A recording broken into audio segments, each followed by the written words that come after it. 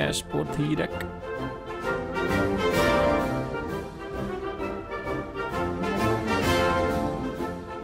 Sziasztok! Az előző héten nagyon sok bátorító kommentet kaptunk, hogy jó úton haladunk. Úgyhogy ezek hatására úgy döntöttünk, hogy ezen a héten eltemetjük a Z kategóriás humort.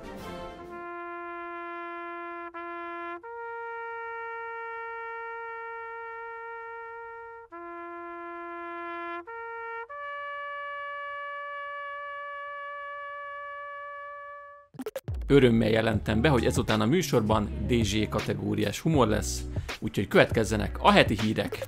Az Elden Ring megjelenésének évében minden díjat megnyert, hiszen fantasztikus pillanatokat kaptunk tőle. Oh, brother.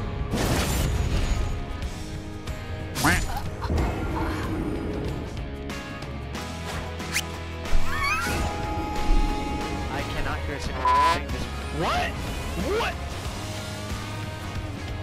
Na jó, hát azért nem csak ilyeneket, természetesen mindenki elismeri, hogy az Elden Ring az talán az elmúlt évtized egyik legkiemelkedőbb alkotása, és nagyon várták már a rajongók, hogy azon a fantasztikus, hatalmas térképen, amiben még rengeteg lehetőség van, újabb kalandok várják őket. Most érkezik végre hivatalosan az első DLC, ugyanis végre befutott a vára vált előzetes. A Shadow of RT-ről januárban több plegyka is megjelent, amelyek azt erősítették, hogy februárban végre megszólal a From Software az ügyben, esetleg ki is adja a DLC-t. Ráadásul nagyon gyanús volt, hogy megjelent a Shadow of R3 témájú kontroller a Trustmaster weboldalán, ezen kívül pedig kiderült, hogy pont februárban akar a Pure Arts piacra dobni valamilyen Elden Ringhez kapcsolódó gyűjthető tárgyat. A hónap végéhez közeledve egyre inkább fogyott a rajongók türelme az Elden Ring új DLC-vel kapcsolatban, szóval a From Software úgy döntött, hogy elérkezett az idő, és befutott végre a várva vált előzetes. A látottak alapján pedig abszolút megérte várni erre a DLC-re, ugyanis nem csak elképesztő ellenfelek vannak benne, hanem sikerült még az alapjáték látványához képes és új szintre lépni a készítőknek a karakterdizájnok terén. A megjelenésre azonban még várnia kell az Elden Ring rajongóinak, csak június 21-én érkezik a kiegészítő, amelynek előrendelése már elindult 39,9 eurós áron. És ha már várva vált előzetesek, akkor nézzünk meg még egyet, ugyanis kijött a Borderlands filmnek az előzetese, és azt hiszem, hogy a Borderlands rajongók ezt is legalább annyira várták már, mint például az Elden Ring rajongók a DLC érkeztét. A tavasz sikerfilmje megérkezett. Feldreginának mindene megvolt. Szőke, cuki, szexi, és a suli legmenőbb pasiával kavar. Amíg egy titokzatos idegen fel nem forgatja az életét. Ez nem az, ez nem az, ez nem az.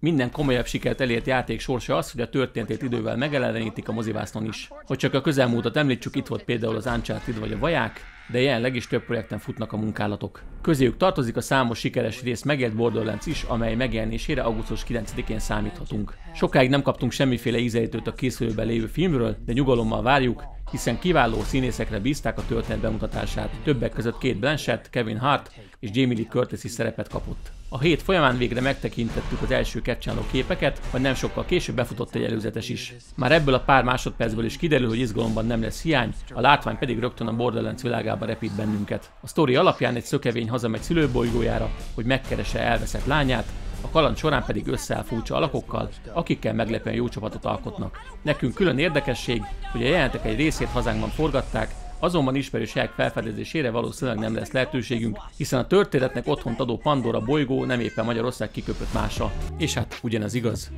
Az előzetes előtt véletlenül betett másik előzetes is, az sem a valóságban játszódott. Lesz magyar a Majorön, eldőlt a Mouse és a Pera sorsa. Február 19-én indult a PGL Major Kopenhága második európai selejtező csoportja, ahol Torzsia Maus színeiben, Áron, Emesen Kamion és Slobeskov pedig a Pera mezében játszhatott azért, hogy öregbítse Magyarország nevét a nemzetközi Counter-Strike 2 mezőnyében. Mindkét csapat sorsa gyorsan eldőlt, ami az egyik esetben örömteli, a másikban inkább szomorú. Torzsiék ugyanis veretlenül jutottak ki Kopenhágába, míg a Pera végül csak egyetlen pályát tudott elcsenni a hatalmas nyomás alatt. A Maus továbbjutása nem csak gyors gyorsan jött, meggyőző is volt. Az első napon a BO1-ekben a Guild Eagles ugyan megszorongatta őket, de amikor felébredtek az egerek, nem volt ellenfelük a koszovói felállás. Az Ecstatic pedig még ennyi fejfájás sem okozott nekik, amitől viszont átlagosból nagyszerűvé vált ez a menetelés a Majorig, az a Spirit elleni mérkőzés volt a második napon. Donk hetek óta rettegésben tartja a Counter-Strike 2 mezőnyét, tegnap azonban sehol sem volt a fiatal orosz a Mouse ellen. Vertigo láthatóan nem megy neki a passzíva pozíciójából adódóan, Torzsiék pedig gyönyörűen büntették ezt a taktikai hibát a Spiritnél. Mirázson ezt folytatva 2-0-ra verték az oroszokat, így megszerezve az egyik első továbbjutást érő helyet. A Pera viszont közel sem volt ennyire szerencsés. A Cloud9 még AVP-s nélkül is büntette Áronékat, és a Gamer Legion Snacks tapasztalata miatt túl nagy falat volt. A Crazy ellen egy pályát azért csak sikerült elcsenniük, de Vertigo és Nuke már teljesen más történet volt, mint Anubis, ezért egy nullás előnyt követően 2-1-re fordult az állás. Ez azt jelentette, hogy az utolsó helyen búcsúzott a Pera a selejtezőtől. Nem lesznek többé PlayStation exkluzív játékok. Nem, nem, nem lesznek többé PS exkluzív játékok.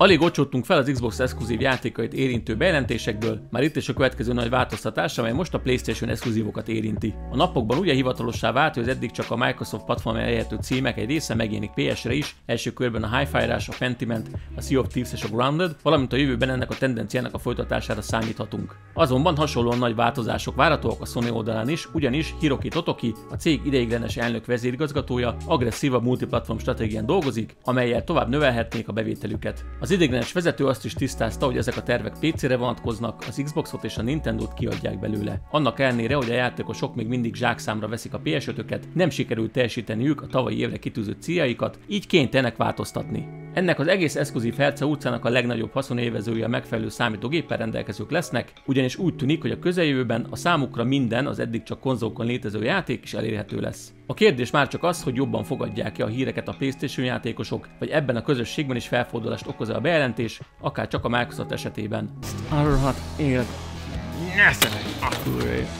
Nyeszek! Azt Na még egy. Még egy. Ha